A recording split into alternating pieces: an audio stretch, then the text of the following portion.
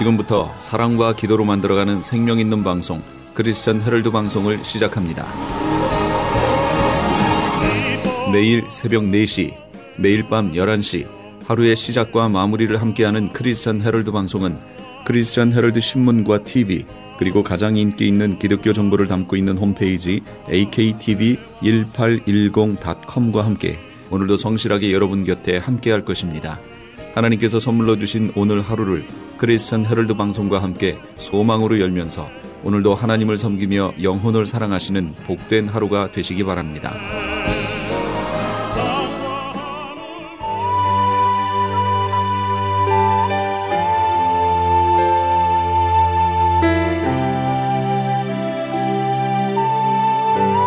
이 새벽을 주님과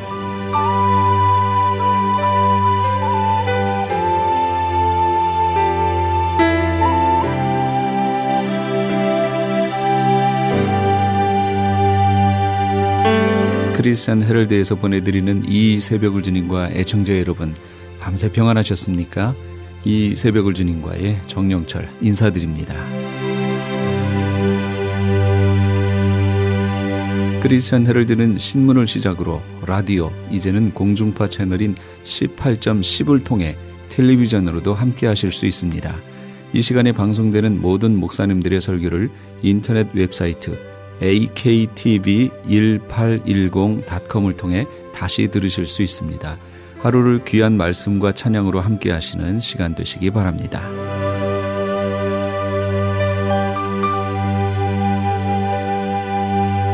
이 시간에는 방주교회 김영유 목사님께서 고린도전서 4장 1절에서 5절까지의 말씀을 본문으로 위탁받은 사람이란 제목의 하나님의 말씀 전해 주시겠습니다. 많은 은혜 받으시기 바랍니다.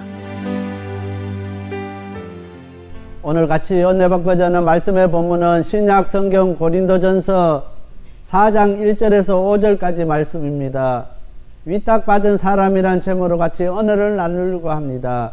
오늘은 대강절 세 번째 주일입니다. 다음 주일이 이제 대강절 네 번째 주일을 맞이하고 성탄절을 맞이하게 됩니다. 사도 바울은 고린도 교인들에게 아블라나 게바나 사도 바울의 그 당파를 생각하지 말라는 것입니다. 오늘 이 땅의 교회들에게도 당파가 있는 것처럼 고린도 교회에게는 아볼라 당파가 있고 게바 당파가 있고 또한 바울의 당파들이 있게 되는 것입니다. 그래서 사도 바울은 아볼라나 게바나 바울의 그 당파의 지도자를 생각하지 말고 그리스도의 일꾼으로 생각해 달라고 이야기하고 있습니다. 복음의 소식을 전하는 사람은 위탁받은 사람들입니다. 위탁받은 사람들은 제멋대로 어떠한 일을 처리할 수가 없습니다. 그 위탁한 사람의 뜻에 따라서 그분이 원하는 대로 일을 해야 되는 책임이 있게 되는 것입니다. 오늘 사도 바울은 복음의 소식을 전하는 사람은 하나님께로부터 위탁받은 사람이라고 이야기합니다. 그래서 사도 바울은 오늘 본문을 통해서 자신을 비판하는 사람들에게 자신의 직무에 대한 비판은 오로지 그 일을 위탁하신 하나님의 근한에 속한다고 고백하고 있게 되는 것입니다. 오늘 우리들도 하나님의 위탁, 일을 위탁받은 사람으로서 하나님만 의식하는 우리 모든 성도님들이 다 되어야 되겠습니다. 첫 번째로 우리는 그리스도의 일꾼이요 청지기입니다. 1절 말씀입니다. 사람이 마땅히 우리를 그리스도의 일꾼이요 하나님의 비밀을 맡은 자로 여길지어다. 사도 바울은 1절에서 일꾼이란 단어를 사용하는데 원래 이 일꾼이란 단어는 3단 그때 당시에 3단 그 배가 있는데 그 배를 갤리선이라 합니다. 3단 배가 있는데 그 맨 하단에서 노를 젓는 사람들을 뜻하는 것입니다. 그때 당시에 배 밑에서 노를 젓는 사람들은 다 노예였습니다. 그 밑바닥에서 큰 노를 저어서 배가 갈 수 있게 열심히 노를 젓는 사람을 뜻하는 것입니다. 그렇기 때문에 키를 잡는 사람의 지시에 따라서 열심히 이 노 젓는 사람은 열심히 노만 저으면 됩니다. 방향은 배 위에 있는 키를 잡은 사람이 지시하는 대로 배는 가게 될 수밖에 없게 된다는 것입니다. 배가 키를 잡은 사람의 그 목적과 방향에 따라서 배가 가는 거지 배 밑바닥에서 노를 젓는 그 사람에 따라서 배가 움직이는 것이 아니라는 것입니다. 사도 바울은 열심히 노만 젓는 것이지 키를 잡은 예수님의 지시에 따라서 자기는 열심히 노를 젓는 사람이라고 이야기하고 있게 되는 것입니다. 그래서 오늘 사도 바울은 이야기하기를 사람이 마땅히 우리를 그리스도의 일꾼이요 하나님의 비밀을 맡은 자로 여길지어다. 우리는 하나님의 하나님께서 예수님의 일꾼으로 우리를 부르셨습니다. 일꾼으로 우리를 부르신 오늘 우리는 예수님께서 지시하는 대로 예수님께서 우리에게 맡기신 일을 열심히 우리는 하면 되는 것입니다. 우리가 어떠한 그 일을 결정하는 결정권이 있는 것이 아닌 것입니다. 그래서 배 밑바닥에서 열심히 노를 젓는 사람이기 때문에 배를 탄 사람들이 그 사람을 잘 알지를 못합니다. 배 위에 타고 있는 승객들은 그 사람들은 배 밑바닥에서 열심히 노를 젓는 그 노를 젓는 사람을 잘 알지 못하는 것입니다. 또한 열심히 노를 젓는 사람을 잘 알아주지도 않는 것입니다. 오늘 우리들 가운데서 예수님의 일꾼이라 하면서 자신을 나타내려고 하고 또 남들이 나를 알아주지 않으면은 원망하고 불평하고 그렇게 하는 사람들이 많이 있게 되는 것입니다. 오늘 우리가 그리스도의 일꾼이라고 자청한다고 하면은 내가 그리스도의 일꾼으로 부르심을 받았다고 생각한다면은 나에게 그리스도의 일꾼의 그 사명이 있다고 생각한다면은 오늘 우리 자신을 나타내고 우리 자신들을 남들에게 자랑하기 바쁜 오늘 우리가 아니라 겸손히 우리 주님께서 우리에게 명령하고 지시한 그 일을 성실히 최선을 다해서 감당해야 되는 것입니다. 그렇게 하는 것이 그 일을 위탁한 사람을 기쁘시게 하는 일이고 그 위탁한 사람의 그 모든 일을 잘 감당하게 되는 것입니다. 그래서 오늘 우리는 일꾼입니다. 일꾼은 하나님의 일을 위탁받은 사람이라는 그 사실을 우리가 항상 기억해야 됩니다. 오늘 우리가 다른 사람에게 나타내기 위해서 또 다른 사람들을 앞서기 위해서 일꾼 된 것이 아니라 우리 하나님의 그 맡겨진 그 일을 감당하기 위해서 우리가 하나님의 일꾼 된 것을 꼭 기억해야 되는 것입니다. 오늘 1절에 또 하반절에 보면은 비밀을 맡은 자라고 나옵니다. 이 비밀을 맡은 사람은 누구냐 하면 쉽게 말하면은 청지기인 것입니다. 일꾼 중에서 가장 큰 근한을 갖게 되는데 주인의 전재산과 또한 일꾼들을 감동하게 되고 또한 물자를 지급하고 분배하고 그 집안의 모든 일을 책임지는 종을 부를 때 청지기라고 부르는 것입니다. 청지기가 모든 일을 다 감당하게 되는 것입니다. 그래서 우리가 보면은 큰 집에 보면은 집사가 있습니다. 이 집사가 모든 일을 다 감당합니다. 주인이 시키는 일을 다 감당하게 되는데 오늘 하반절에 비밀을 맡은 자는 청직이라는 뜻하는 것입니다. 오늘 사도 바울은 오늘 일꾼에 대해서 이야기를 하고 두 번째로 청지기에 대해서 이야기합니다. 아무리 청지기가 가장 큰 권한을 가지고 있고 주인의 전 재산을 관리하고 일꾼을 감독하고 물자를 지급하고 분배하는 큰 일을 하지만은 주인이 볼 때는 그도 하나의 종에 불과하다는 것입니다. 아무리 청지기가 많은 권한이 있고 많은 그한 그 일들을 감독하고 책임지지만은 주인이 볼 때는 청지기도 하나의 종이라는 것입니다. 오늘 우리 하나님께서 우리를 일꾼으로 부르시고 오늘 우리를 청지기로 부르신 것에 오늘 우리는 분명하게 알아야 될 것은 우리는 하나님의 종이라는 것입니다. 종이기 때문에 주인이 원하는 대로 주인이 위탁한 그 일을 최선을 다해서 해야 되는 것입니다. 그래서 오늘 2절 말씀에 맡은 자에게 구할 것은 충성이니라. 우리는 오직 맡은 사람의 그 일에 충성하는 저와 우리 모든 성도들이 다 돼야 된다는 것입니다. 항상 우리는 종의 그 신분을 잊지 말아야 되는 것입니다. 아무리 오늘 우리가 교회에서 우리 성도님들 가운데 운영위원장이 있고 운영위원들이 있고 또 재정을 맡은 분들이 있고 우리 성가대가 있고 각 부서가 다 있습니다. 목장장들이 있습니다.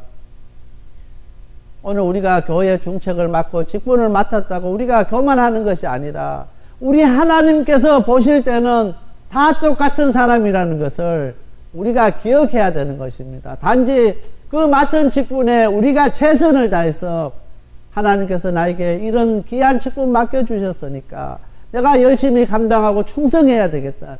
그런 각오를 우리가 해야 된다는 것입니다. 내가 다른 성도들보다 낫고 다른 성도들보다 능력이 있어서 하나님께서 우리에게 그런 직분 맡겨주신 것이 아니라는 것입니다. 오늘 우리가 이절의 말씀대로 맡은 자에게 구할 것은 충성이라 했습니다. 누가 알아주든 알아주지 않든 그 일에 충성하는 오늘 저와 우리 모든 성도들이 다 되시길 바랍니다. 두 번째로 나를 판단하시는 분은 예수님입니다. 4절 말씀입니다. 내가 자책할 아무것도 깨닫지 못하나 그러나 이를 인하여 어렵다 하심을 얻지 못하노라. 다만 나를 판단하실 이는 주시니라. 3절 말씀에 보면은 우리는 다른 사람의 판단에 직면한다고 이야기합니다. 그래서 항상 우리는 어떠한 일을 하든 신앙생활 하든 다른 사람이 우리를 판단하는 것입니다. 저 사람은 신앙생활을 잘한다, 못한다, 열심히 봉사한다, 못한다. 우리는 항상 판단을 받게 되는 것입니다. 근데 오늘 4절 말씀에 또한 우리는 자기 자신을 판단할 때가 많이 있다고 이야기합니다. 그래서 다른 사람이 우리를 판단하고 또한 우리 자신이 자기 자신을 판단하지만은 오늘 중요한 것은 정말 나를 판단할 수 있는 분은 우리 예수님밖에 없다는 그 사실을 우리가 기억해야 된다는 것입니다. 사람들이 나를 어떻게 생각하고 어떻게 판단하든 내 자신이 나를 어떻게 판단하고 어떻게 생각하든 관계하지 마시기를 바랍니다. 오늘 사도 바울이 그것을 이야기합니다. 우리는 다른 사람들을 너무 의식하고 다른 사람들의 판단에 휩쓸릴 때가 얼마나 많은지 모릅니다. 그런데 나를 판단하실 분은 오직 예수님밖에 없다는 것을 우리가 기억해야 되는 것입니다. 사람들이 자기를 판단하기 때문에 자기의 만족을 가시하게 되고 독선에 빠지게 되고 자만에 빠지게 되고 자기 도취에 빠지게 되는 것입니다. 오늘 우리를 판단하실 분은 우리 예수님밖에 없다는 사실을 우리가 기억하게 될 때 이 모든 것으로부터 우리가 자유함을 누릴 수 있게 된다는 것입니다. 오늘 우리 하나님께서는 우리를 판단하실 때 결정적인 것입니다. 우리 주님께서 우리를 판단하실 때는 실수하지 않습니다. 그것은 결정적인 것입니다. 왜냐하면 우리 주님께서는 우리의 모든 일을 다 알고 계시기 때문인 것입니다. 또한 우리가 어떠한 일을 하고 어떻게 우리가 신앙생활을 하는 그 동기를 우리 예수님은 다 알고 계시기 때문에 우리를 가장 정확하게 판단하실 분은 우리 예수님밖에 없다는 것입니다. 우리가 다른 성도들을 아무리 잘한다고 해도 그분이 어떠한 생각으로 신앙생활하고 어떻게 봉사하는지 우리는 알지 못하지만은 우리 예수님은 아신다는 것입니다. 그래서 예수님께서 다시 오실 때 오늘 우리가 준비되지 아니하면은 후회할 일이 생기게 된다는 것입니다. 우리 주님이 오실 때 누가 신앙생활 잘하고 예수 잘 믿었고 얼마나 하나님을 잘 섬겼는지 다 만천하에 오늘 우리가 다 드러나게 된다는 것입니다. 지금 우리가 볼 때는 저 성도가 열심히 신앙생활 잘하고 기도 생활도 잘하고 봉사도 열심히 잘하는 것 같은데 자기가 어떠한 목적이 있어서 자기가 어떤 동기가 있어서 그렇게 했는지 주님이 오실 그날에 다 드러난다는 것입니다. 우리 주님 말이 정확하게 알고 계신다는 것을 오늘 4절에 말씀하고 있게 된다는 것입니다. 4절 말씀입니다. 내가 자책할 아무것도 깨닫지 못하나 그러나 이를 인하여 어렵다 하심을 얻지 못하노라. 다만 나를 판단하신 이는 주시니라. 오늘 우리를 판단하시고 우리를 이렇게 심판하실 분은 우리 예수님밖에 없는 것을 우리가 기억해야 되는 것입니다. 그래서 다른 사람이 우리를 어떻게 판단하든 내 자신이 나를 어떻게 판단하든 구애받지 마시길 바랍니다. 항상 우리는 예수님께서 나를 어떻게 판단하실까? 그 그것만 생각하라는 것입니다. 사도 바울이 그렇게 했습니다. 오늘 고린도 교회가 많은 분파 때문에 문제가 생겼습니다. 아볼로나 게바나 사도 바울이나 이런 분파가 되었고 교회도 이렇게 보면은 개파가 이렇게 생기고 갈라지는 것을 볼 수 있는 것처럼 이 고린도 교회도 그런 문제가 생겼습니다. 그래서 서로가 서로를 판단하게 되고 또, 또 그것을 떠나서 각 사람들이 스스로를 판단하게 되었던 것입니다. 그래서 문제가 생기게 되었던 것입니다. 그럴 때 할 때 사도 바울은 이야기하기를 남이 나를 어떻게 판단하든 개의치 말라는 것입니다. 거기에 신경 쓰지 말라는 것입니다.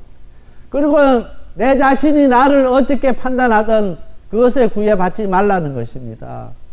오로지 우리는 예수님께서 우리를 판단하실 것이라는 것을 기억하고 그분에 맡겨주신 그 일에 최선을 다해서 감당하고 충성하는 하나님의 일꾼이 되어야 된다고 이야기하고 있고 되는 것입니다. 오늘 우리들도 다른 사람 판단하지 마시고 정말 우리 예수님께서 우리에게 맡겨진 그 사명 그 일 위해서 최선을 다하고 충성하는 저와 우리 모든 성도님들이 다 되시길 바랍니다. 세 번째로 예수님 오시기까지 판단하지 말라고 말씀하고 있습니다. 5절 말씀입니다. 그러므로 때가 이르기 전 곧 주께서 오시기까지 아무것도 판단치 말라. 그가 어둠에 감추인 것들을 드러내고 마음의 뜻을 나타내시니 그때 각 사람에게 하나님께로부터 칭찬이 있으리라. 오늘 사도 바울은 예수님이 오실 때까지 판단하지 말라는 것입니다. 예수님께서 오시면은 오늘 우리가 판단하지 않아도 다 드러나기 때문에 숨겨진 것들이 다 나타나기 때문에 판단하지 말라는 것입니다. 오늘 우리가 위탁받은 사람으로서 남 판단하지 아니하고 우리가 열심히 그 일에 최선을 다할 때 우리 주님 오시는 그날 각 사람에게 하나님께로부터 칭찬이 있으리라 했습니다. 정말 우리 주님 다시 오시는 그날 마지막 날 정말 잘했다 칭찬받는 저와 우리 모든 성도님들이 다 되시길 바랍니다. 악하고 게으른 종이라고 책망받는 사람이 한 사람도 없게 되길 바랍니다. 그러기 위해서는 오늘 위탁받은 사람으로서 하나님의 일꾼으로서 끝까지 충성하고 최선을 다할 수 있는 저와 우리 모든 성도님들이 다 되시길 바랍니다. 2016년도를 시작하면서 우리는 결단했습니다. 하나님 앞에 성군 영시 예배 드리면서 하나님 앞에 우리가 기도한 제목들이 있습니다. 하늘을 한번 되돌아볼 수 있게 되길 바랍니다. 정말 하나님께 위탁받은 사람으로서 얼마나 우리가 최선을 다했고 열심히 우리가 충성했는지 우리 자신들을 한번 되돌아볼 수 있게 되길 바랍니다. 2016년도 얼마 남지 않았습니다. 오늘 우리들이 생각할 때 이제 2016년도도 몇 날이 남지 않았으니까 그냥 우리가 아무렇게 보내고 2017년도부터 새해 새 마음으로 우리가 열심히 최선을 다해야지 열심히 충성해야지 열심히 하나님 기뻐하시는 일을 감당해야지 그렇게 생각하는 사람들이 한 사람도 없게 되길 바랍니다. 마지막 2016년도 얼마 남지 않았지만은 한 달도 채 남지 않았지만은 이 마지막 남은 날 끝까지 포기하지 않냐고 최선을 다할 수 있는 잘 마무리할 수 있는 저와 우리 모든 성도님들이 다 되시길 바랍니다. 오늘 우리에게는 내일이 없습니다. 오늘 하루하루 우리에게 맡겨진 그 일에 최선을 다하는 그 사람이 준비된 삶을 살아가는 사람인 것입니다. 일꾼에게서는 내일이 없습니다. 청지기에게서는 내일이 없는 것입니다. 하루하루 최선을 다할 때 그 주인이 다음날 일을 맡기는 것을 기억할 수 있게 되길 바랍니다. 오늘 그냥 대강 보내고 내일 열심히 해야지 또 내일 되면 또 내일 내일 미루다 보면은 우리는 우리의 생이 끝날 수밖에 없게 된다는 것입니다. 오늘 우리가 이 말씀을 통해서 분명하게 알 것은 일꾼에게는 내일이 없다는 것입니다. 오늘 하루하루 최선을 다할 때 내일 주인이 우리에게 일을 맡긴다는 것입니다. 그래서 항상 오늘 하루 우리에게 맡겨진 그 삶에 최선을 다할 수 있는 저와 우리 모든 성도들이 다 되시길 바랍니다. 위탁받은 사람으로서 일을 맡긴 사람을 기쁘시게 하고 일을 맡기는 사람이 정말 기뻐할 수 있도록 우리가 최선을 다해야 됩니다. 그렇게 할 때 주인께서 보시고 우리를 칭찬하신다는 것입니다. 그래서 그때 각 사람에게 하나님께로부터 칭찬이 있으리라.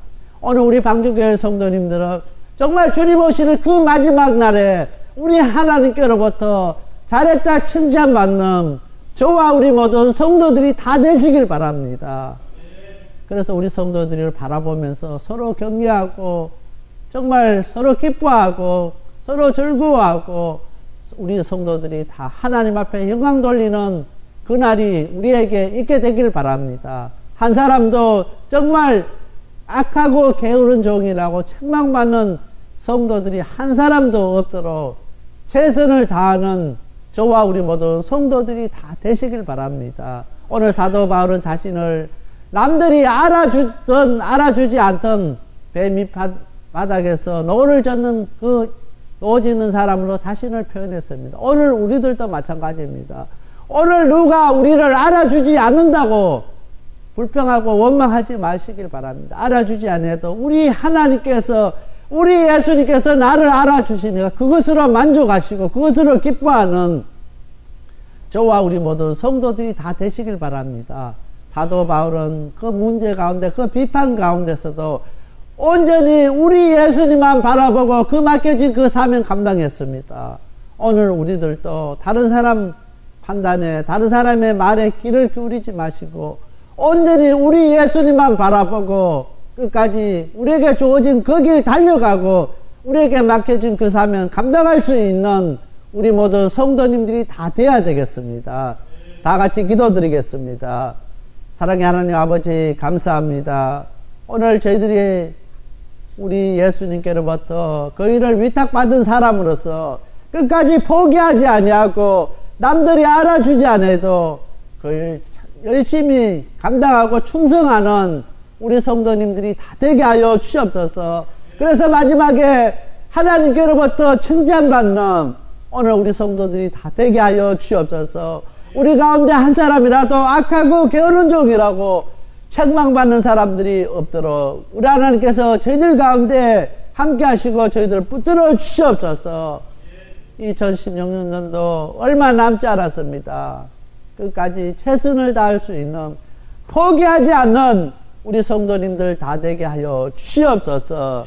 이 모든 말씀 예수님 이름 어자여 간절히 기도드렸습니다. 아멘. 지금까지 생명을 살리고 자유케 하는 섬김이 있는 방주교회 김영규 목사님께서 하나님의 말씀 전해 주셨습니다.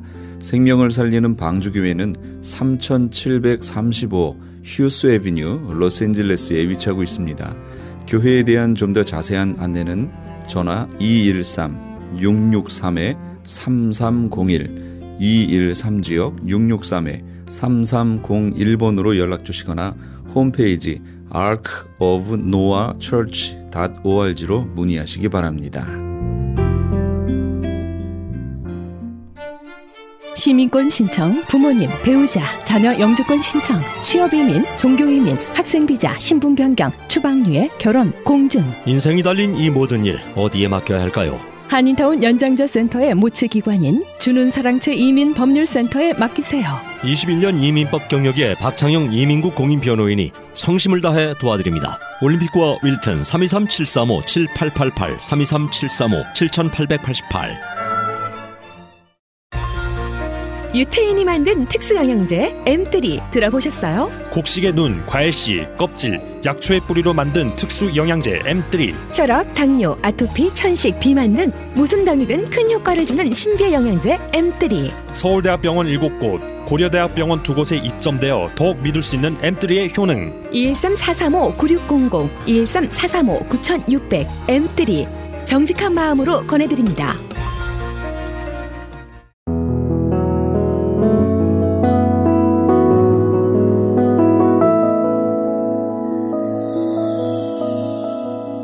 지금 여러분께서는 AM 1650과 인터넷을 통해 미 전역과 전 세계로 방송되는 크리스천 헤럴드의 이 새벽을 주님과 일부 함께하고 계십니다. 계속해서 은혜 한인교회 한기홍 목사님께서 마태복음 25장 1절에서 13절까지의 말씀을 본문으로 하나님의 나라 그 여덟 번째 시간 하나님의 말씀 전해 주시겠습니다. 많은 은혜 받으시기 바랍니다. 아, 주님의 나라는 주님께서 친히 통치하시는 천국이 천국을 의미하는 것입니다. 그래서 우리가 예수 그리스도를 영접할 때 주님께서 우리를 통치하시기 시작합니다. 주님의 다스리심을 받으며 산다는 것이 가장 행복한 거예요. 만일 우리 가정을 주님께서 통치해 주신다면, 우리 교회를 주님께서 통치하시고 이 나라를 주님께서 통치해 주실 때 바로 주님의 통치를 받으며 살 수 있는 것이 가장 안전하고 가장 하나님 앞에 영광을 돌리는 복된 삶이 되어지는 것입니다. 그래서 주님의 통치 영역 안에 들어가서 그분과 더불어 교제하고 그분의 다스리심을 받으면서 살 수 있는 것 이것은 엄청난 축복인 것입니다. 그래서 우리 예수님께서는 계속해서 주님의 제자들에게 이 하나님의 나라에 대해서 말씀을 가르쳐 주셨고 그리고 하나님의 나라가 임하게 해달라고 기도하라고 말씀하신 것입니다.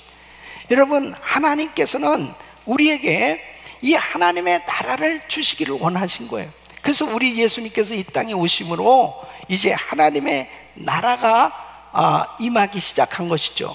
그래서 주님은 천국 복음을 전해 주시고 그 천국 복음을 받아들이는 사람마다 이제 하나님의 나라가 임하기 시작한 것입니다. 이 천국 복음이 전해질 때 하나님의 나라가 확장되기 시작하는 것입니다.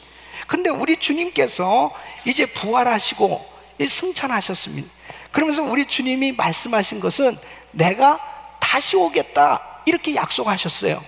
그래서 하나님의 나라가 이제 어느 때 진정으로 완, 완성이 되어지느냐? 우리 주님께서 이 땅에 오셔서 재림하셔서 천년 왕국을 이루시고 바로 하나님의 백성들은 주님과 더불어 왕노릇하면서 영원토록 천국에서 살게 될 때 비로소 주님께서 말씀하시는 이 하나님의 나라가 완성되는 것입니다. 그러므로 신앙생활은 바로 그 주님의 나라가 완성되기까지 바로 주님을 사모하고 주님의 재림을 사모하면서 살아가는 것입니다. 그래서 교회는 바로 신랑 대신 예수님을 맞이하는 신부인 것입니다. 그래서 신부인 성도는 신랑 대신 그 주님을 사모하면서 기다리면서 살아갈 때 행복한 거예요. 이 오늘 이 본문 말씀은 성도가 교회가 어떻게 주님의 나라를 기다려야 할지 이 열 처녀의 비유를 통해서 우리 주님께서 자세하게 교훈해 주고 있습니다. 오늘 이, 이 본문 내용을 보면은 아주 충격적인 아, 이 사건이 기록되어 있는데 그것은 열 사람이 모두가 다 그 신랑을 기다리고 있었어요. 그런데 그 열 사람 중에서 다섯은 신랑을 만났습니다. 근데 다섯은 신랑을 못 만난 거예요. 근데 자 보세요. 열 사람이 모두가 다 신랑을 기다리고 있었다는 사실. 그 열 사람은 지금의 교인들이라고 볼 수 있어요. 모두가 다 신랑 대신 주님을 기다리고 있어요. 그런데 다 그 주님을 만나야 될 텐데 다섯은 주님을 만났는데 다섯은 주님을 못 만났다면 이거 굉장한 충격적인 사건입니다. 그러니까 이 본문을 어떻게 해석하느냐에 따라서 차이가 있겠지만은 분명한 사실은 우리 모두가 신랑 대신 예수님을 어느 때 주님이 오신다 하더라도 그분을 기쁨으로 만나고 천국잔치에 입성해야 될 줄로 믿습니다.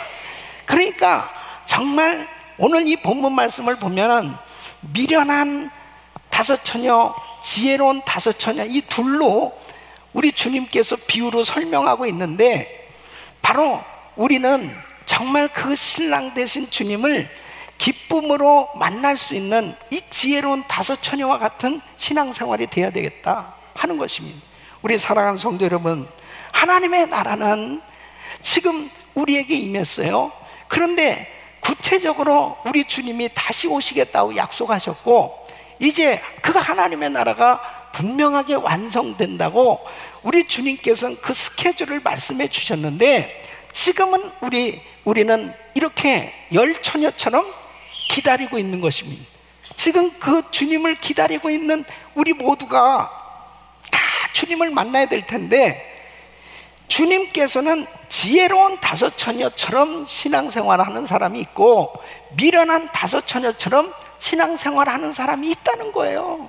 그러니까 바로 나는 어떤 모습으로 주님을 기다리는가? 어떤 모습으로 내가 이 마지막 때를 살아가고 있는가? 오늘 이 말씀을 통해서 잘 우리는 주의 음성을 들으시고 정말 저와 우리 성도님들은 단 한 사람도 이 미련한 다섯 처녀처럼 그 주님을 만나지 못하는 이 어리석은 신앙생활이 아니고 모두가 다 지혜로운 다섯 처녀처럼 바로 그 주님을 만날 수 있기를 예수 이름으로 축원합니다. 축원합니다. 그러면 신랑 대신 우리 주님을 어떻게 기다려서 정말 그분을 만날 수 있을까?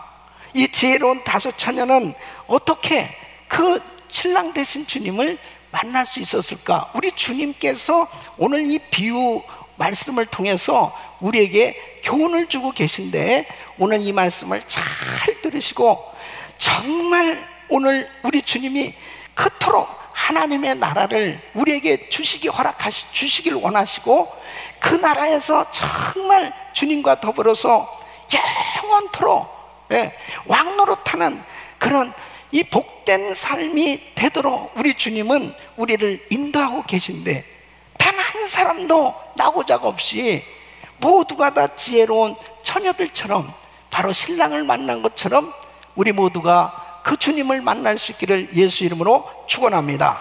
그러면 어떻게 기다려야 될 것이냐? 어떻게 신앙생활하는 것이 바로 지혜로운 이 마지막 때 지혜로운 신앙생활이냐? 첫째는 깨어 있으라는 것입니다. 여러분 우리 예수님께서는 지금 이렇게 권면하고 계세요. 오늘 13절 말씀 보니까 그런즉 깨어 있으라 너희는 그날과 그때를 알지 못하느니 왜 깨어 있어야 돼요? 그날과 그때를 알지 못하니까 그날과 그때는 뭐예요? 바로 주님께서 재림하신다고 말씀하셨는데 주님의 재림의 때를 가르쳐 주시지 않았습니다. 그러니까 어느 때 주님이 오실지 모르는 거예요. 그러니까 깨어 있는 사람이 바로 그 주님이 언제 오실지 모르지만 바로 그 사람이 준비되어 있기 때문에 그 주님을 만날 수 있다는 것입니다. 그러면 깨어 있으라는 것은 무슨 뜻일까요? 뭐 항상 잠을 못 자고 있는 거냐? 그게 아니고 바로 영적인 잠을 자지 말라는 것입니다. 이것은 영적인 민감을 민감성을 유지하라는 것입니다. 여러분 베드로전서 4장 7절에 보면 만물의 마지막이 가까웠으니 그러므로 너희는 정신을 차리고 근신하여 기도하는 만물의 마지막이 가까웠으니 다시 말씀드리면 마지막 때 주님이 오실 날이 가까울수록 정신을 차리라는 것입니다. 왜 그럴까요? 이 세상은 끊임없이 영적으로 무뎌지도록 그렇게 세상은 계속 미혹을 하고 있는 것입니다. 그러니까 주님이 영영이 안 오실 것 같은 거예요. 그렇게 살아가도록 이 세상은 성도들을 미혹시키고 있는 것입니다. 그렇기 때문에 마지막 때일수록 더욱더 깨어 있어야 된다는 것입니다. 오늘 이 본문 말씀을 보면은 5절 말씀에 보면 신랑이 더디움으로 다 졸며 잤어요. 그러니까 여러분 보세요. 예수님께서 말씀하셨어요. 내가 다시 오겠다. 어? 내가 속히 오리라. 그렇게 말씀하셨지만은 아, 주님께서 속히 안 오셨거든. 그러니까 졸며 잤는 이 열 사람을 모습은 오늘날 우리 신앙인들의 모습 이라고 말할 수 있어요. 그러니까 다 사람들이 세상 가운데서 방황하며 살 수밖에 없습니다. 그래서 이 마지막 때일수록 아, 이 깨어 있다라고 하는 것이 얼마나 중요한 건지 이루 말할 수 없는 거예요. 여러분, 자 노아 시대 보세요. 하나님께서 홍수로 세상을 심판하셨어요. 그랬을 때 마태복음 24장 39절을 보면 예수님께서 이렇게 말씀하신 거예요. 홍수가 나서 저희를 다 멸하기까지 깨닫지 못하였으니 인자의 임함도 이와 같으리라. 그러니까 예수님이 오실 때도 이렇게 된다는 거예요. 에? 노아 홍수 때 계속해서 외쳤지 않겠습니까? 경고의 나팔을 불었지 않겠어요? 그렇지만 사람들이 홍수 심판이 임한 데도 불구하고 다 홍수로 멸해지기까지 깨닫지 못하는 거예요. 네. 이게 영적으로 무뎌진 상태에서 살아가는 사람들의 모습인 것입니다. 여러분 오늘날도 보면은 정말 주님이 오신다 오신다 하는 그런 그 징조들이 마지막 때의 징조들에 대해서 주님이 많은 말씀을 하셨어요. 그러나 깨닫지 못하는 이유가 뭐냐? 깨어있지 못하는. 그러니까 영적으로 둔감한 거예요. 자, 여러분 보세요. 2000년 전에 예수님께서 이제 육신을 입으시고 이 땅에 태어나셨어요.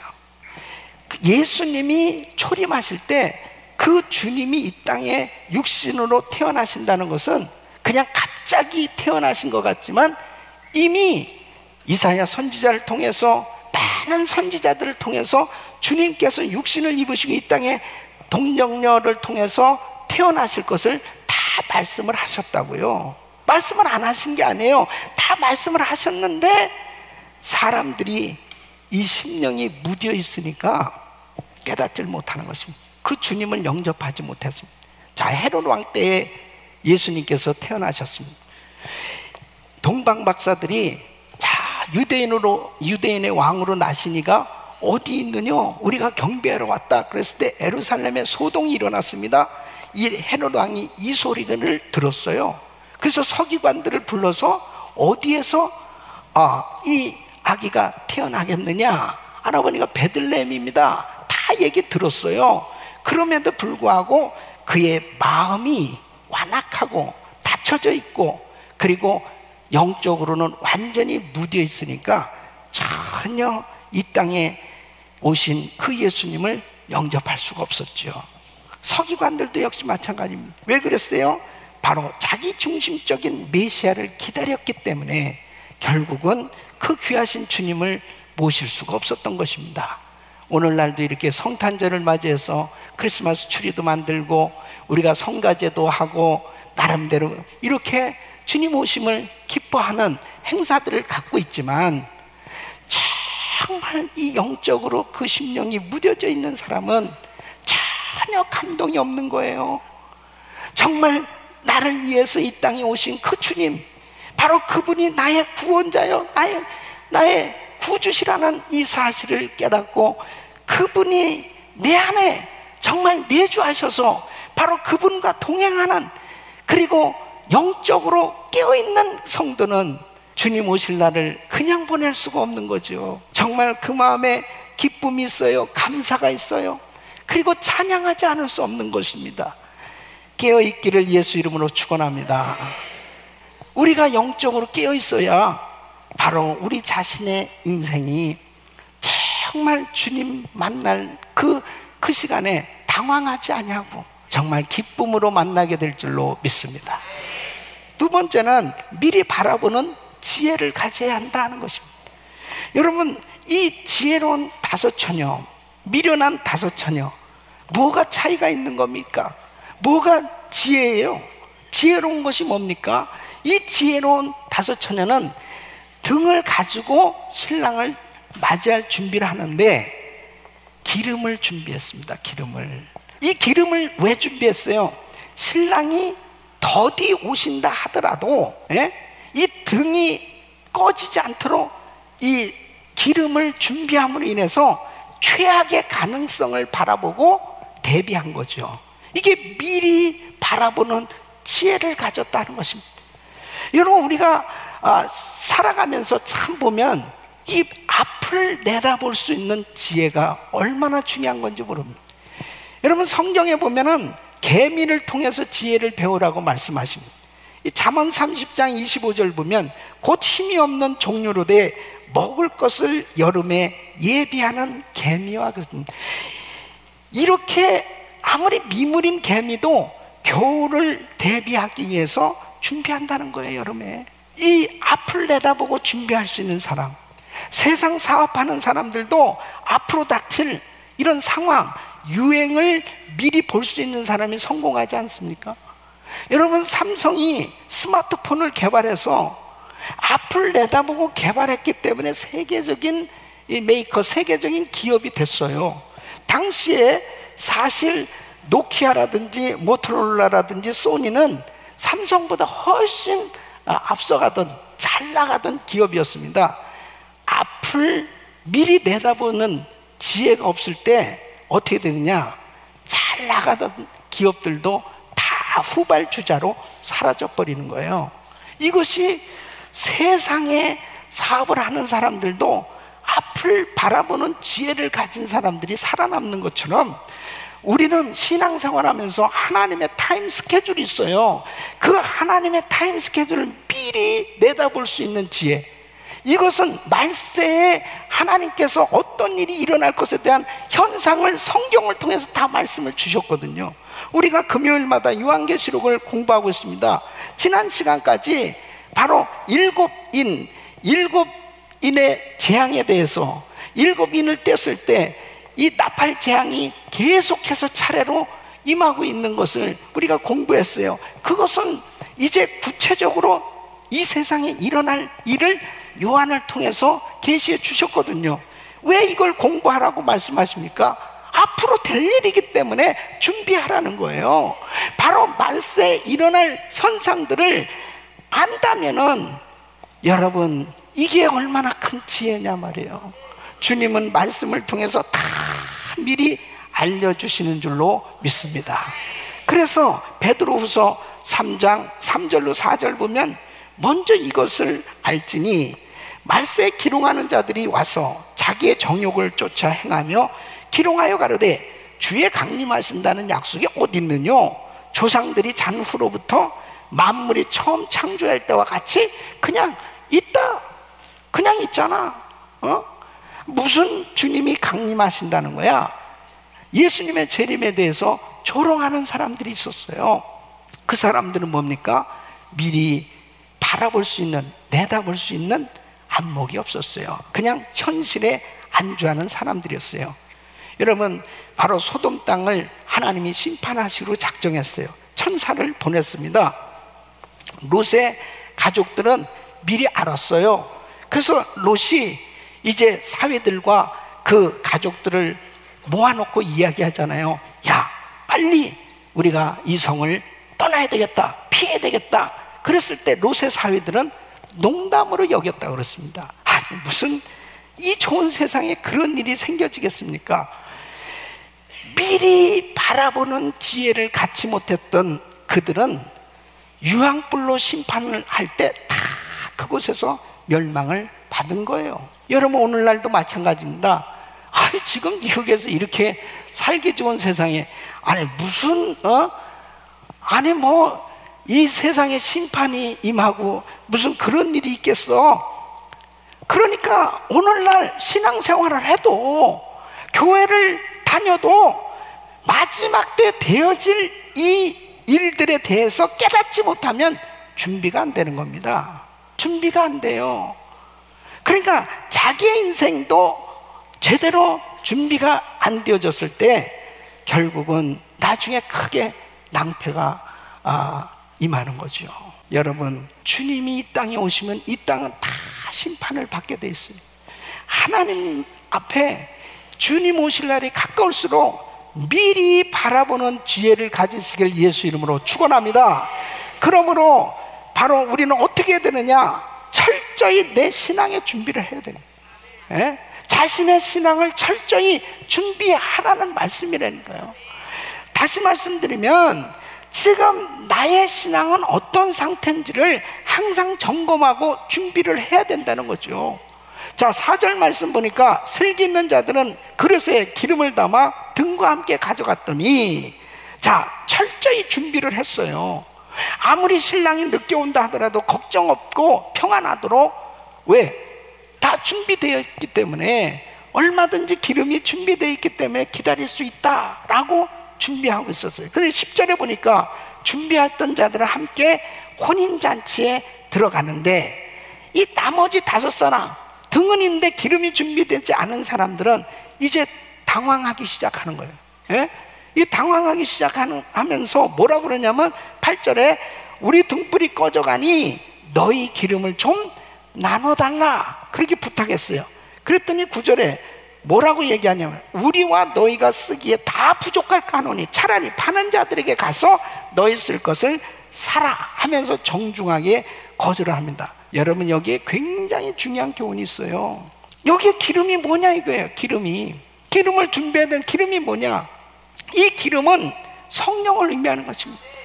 바로 내가 성령 충만함을 받고 성령의 능력을 받고 성령의 은혜를 받는 것은 자기가 받아야 되는 것이지 성령을 다른 사람에게 우리가 나눠줄 수가 없어요. 믿음은 남에게 줄 수가 없어요. 내가 이 믿음을 빌려줄 수도 없고, 어? 빌려올 수도 없는 거라니까.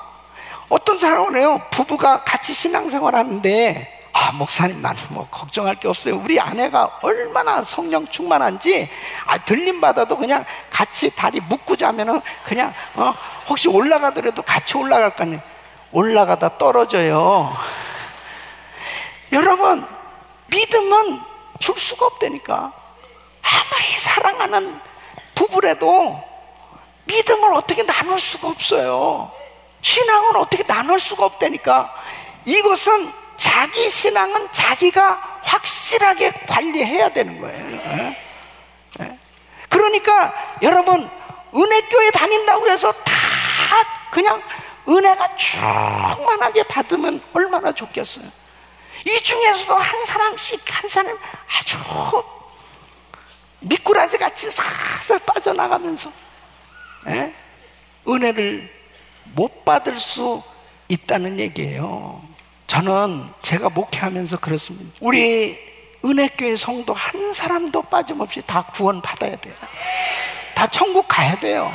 우리 주님 오실 때 들림 받아야 돼요. 확실하게 다 한 사람 한 사람이 그렇게 들림 받으려면 그냥 집단적으로 그냥 은혜교회 다녔기 때문에 들림 받는 게 아니죠. 은혜교회 다녔기 때문에 그냥 구원 받는 게 아니고 내 신앙은 확실하게 점검해봐라 이거예요. 오늘 밤 내가 이 세상을 떠나도 천국 갈 확신 있냐? 주님 언제 오셔도 내가 들림 받을 수 있느냐? 이게 준비됐냐 이거예요. 이것은 누가 해줄 수 없어요. 누가 대신해 해줄 수 없어요. 내가 사랑하는 내 자식이라도 내 부모님이라도 내 아내라도 대신 해줄 수가 없는 거예요. 이것은 주님과 자기와의 관계인 것입니다. 사랑하는 성도 여러분, 주님 앞에 껍데기 성도 되지 말고 경건의 능력이 확실히 나타나는 그런 능력 있는 성도가 되시기를 축원합니다. 진짜 주님 앞에 설 때 어떤 모습으로 설 것이냐? 준비된 사람만이 기쁨으로 주님 앞에 설 수 있잖아요. 사도 바울처럼 하, 나를 위해서 의의 면류관이 예비되었습니다. 그 기쁨으로 주님을 맞이할 수 있는 사람은 준비된 사람이죠. 한 해를 보내면서 왜 우리가 비상 심야 기도회를 하고 있습니까? 하나님 앞에 정말 지금 우리 대한민국이 우리가 이렇게 멀리 떨어져서 이역만리 미국에서 살고 있지만 우리 조국을 잊을 수 없잖아요. 지금 조국이 너무나 풍전등화와 같은 그런 어려운 어려움을 당하고 있습니다.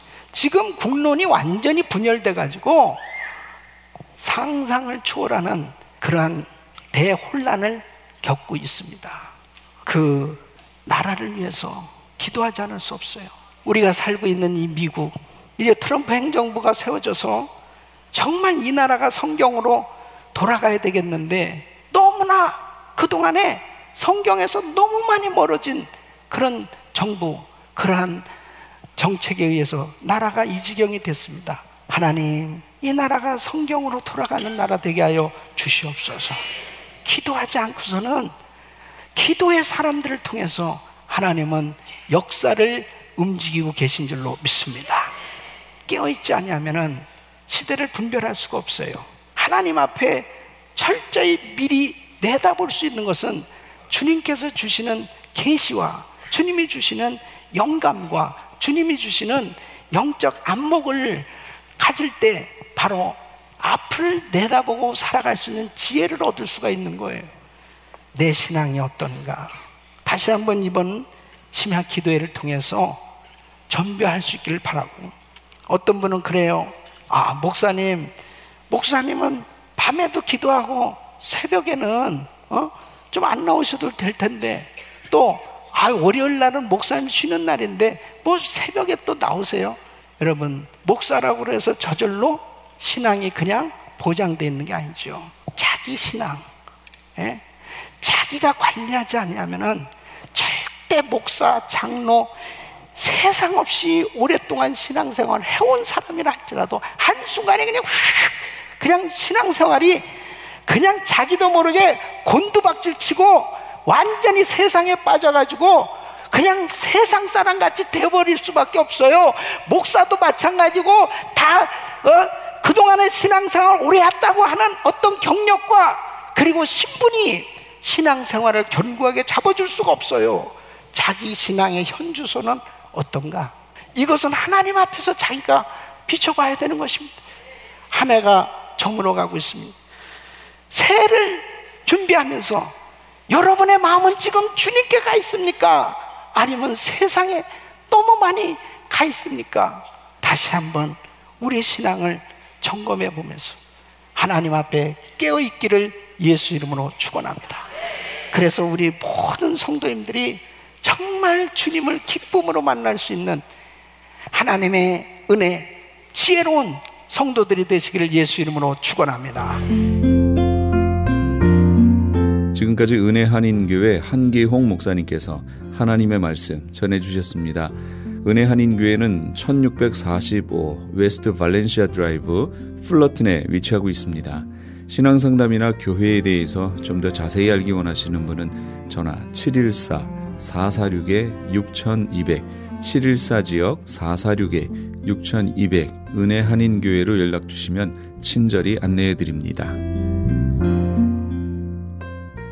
안녕하세요. 폴선입니다. 건강보험 회사들의 플랜이 해마다 바뀌는 것 아시죠? 10월 15일부터 12월 7일까지 새로운 보험에 가입하거나 변경하여 본인에게 적합한 플랜을 찾아야 합니다. 메디케어만 갖고 계신 분, Advantage 플랜을 갖고 계신 분은 무료 상담 받으세요. 수호천사보험 시니어 전문 보험 라이센스 에이전트 폴선 213503-6897 213503-6897 상담은 주 7일 오전 8시부터 오후 8시까지 TTY 1800-735-2929 아니 당신 미장원 다녀왔어? 헤어스타일이 확 바뀌었네 으, 홈쇼핑 월드 차홍 고데기로 마술을 부렸지. 홈쇼핑 월드 차홍 고데기 차홍 허니앤비 샴푸로 머리 감으면서 차홍 헤어두피 마사지를 쓰면 머릿결이 너무너무 부드러워지고 한 움큼씩 빠지던 머리카락도 눈에 띄게 덜 빠져. 차홍 고데기 너무 좋아. 그럼 그 웨이브 머리도 당연하죠. 3, 4분이면 이렇게 풍성한 웨이브 머리를 만들 수 있다고요.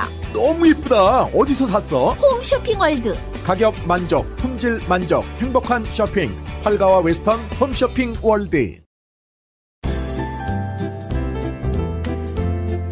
CHB 건강 칼럼 안녕하세요. 건강 칼럼 39번째 시간입니다. 지난주 시간에 자연정열요법 또는 자정요법이라고 약물이나 의료 장비를 전혀 사용하지 않고 간단한 자연의 원리 하나로 거의 모든 병을 고치고 예방할 수 있다는 민간요법을 소개하였습니다. 오늘 시간의 민간요법은 부지런하기만 하면 누구나가 할 수 있는 방법을 소개해 드리겠습니다.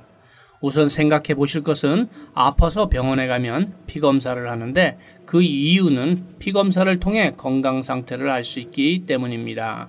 과학의 발달로 피를 검사하고 분석하는 기술이 발전하여서 피 1g만 가지고도 간세포의 염증 정도를 판단하는 GOT나 GPT 수치, 요산치, 혈당치, 콜레스테롤 수치 등 피 검사가 나오게 됩니다. 피에 이상이 없으면 건강한 것이고 정상 수치에 어긋나 있으면 어떤 병이 있다고 판정을 내리는 것입니다. 사람이 병에 걸리는 가장 큰 원인은 바로 피가 나빠졌기 때문입니다. 피가 나빠져 생긴 대사성 질환인 당뇨병, 고혈압, 심장병, 간경화 같은 병이 있고 나쁜 피라고 하는 어혈이 체내에 오래 머물러서 나타나는 파킨슨병, 류마티스 관절염, 강직성 척추염, 전신 홍반성 낭창과 입안과 신체의 일부분이 자주 허는 버제트병 같은 자가 면역 질환이 있습니다. 만병을 예방한다는 수족 온역법은 주무시기 전에 큰 그릇에 아주 더운 물을 발목까지 잠길 정도로 붓고 약 30분 정도 담그는 것이 바로 수족 온역법입니다. 몸 전체를 담그면 더 좋지 않을까 하는 생각이 드시겠지만 반드시 발목까지만 담그시기를 바랍니다. 이때 물에 천연소금 한 숟가락을 넣고 물의 온도가 내려가지 않도록 더운 물을 미리 준비해 두셔서 온도를 유지하면 말초 신경부터 서서히 혈관을 확장시켜 혈액순환이 잘 되게 하는 원리로서 상당히 신기한 효과를 보시게 됩니다. 냉이 있는 여성도 이 방법을 15일 정도 하면 완치될 수 있고 한 달 정도 하면 평균 10파운드 정도 체중도 줄일 수 있습니다. 피부가 매끌매끌해지는 것을 느낄 수 있으며 계속 꾸준히 할 경우 혈액순환이 잘 되므로 질병을 예방할 수 있습니다. 피를 검사하는 것이나 수족 온요법이나 모두가 피로 인하여 생긴 병이고 혈액순환을 잘 시켜서 병을 치료하자는 것입니다. 저는 지금까지 피 검사를 한 사람은 많이 보았어도 어떻게 하면 깨끗한 혈액을 만들 수 있는지를 알려주는 곳은 보지 못했습니다. 피는 적혈구와 백혈구, 혈소판으로 나눌 수 있습니다. 혈소판의 주 역할은 지혈작용이고 백혈구는 병균들을 잡아먹는 면역 활동을 하며 적혈구는 체내에 산소를 운반하는 역할을 합니다. 이 세 가지를 구성하고 있는 혈액은 3일 또는 7일 만에 죽었다가 살아나는 운동을 반복하여야 하는데 영양이 부족하여 반복 운동을 하지 못할 때 혈액은 어혈로 변하게 되면서 각종 질병에 시달리게 됩니다. 좋은 흙에서 나온 식물성 미네랄을 드시면 혈액에 영양이 공급되면서 무슨 병에 걸렸든지 3일 정도면 큰 효과를 보시게 됩니다. 무슨 병에 걸렸든지 큰 효과를 줄 수 있는 신비한 기적의 영양제 M3를 소개해 드립니다. 유태인이 만든 특수 영양제입니다. 낫지도 않는 의약품에 습관처럼 매달리지 마시고 한 번쯤은 기적의 영양제를 체험해 보시기를 권해드립니다. 무료 건강 상담과 기적의 영양제 M3에 관한 문의는 213-435-9600번 213-435-9600입니다. 감사합니다.